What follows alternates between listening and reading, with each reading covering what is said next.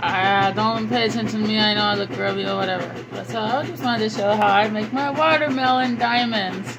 So I take my watermelon and I score it. So I already scored some lines going one way. And then I'm going to score the lines going the other way into diamonds. Alright.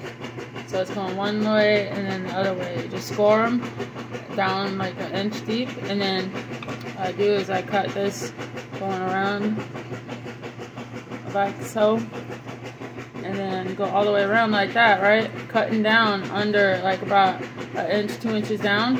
And then I go back down and towards the middle now and I do the same thing. And I cut go like that. And just turn the melon in a circle and it does the work for you right? So then you go like that. Boom. Watermelon diamonds.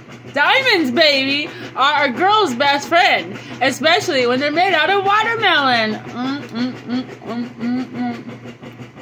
Mm-hmm. that's what i'm talking about baby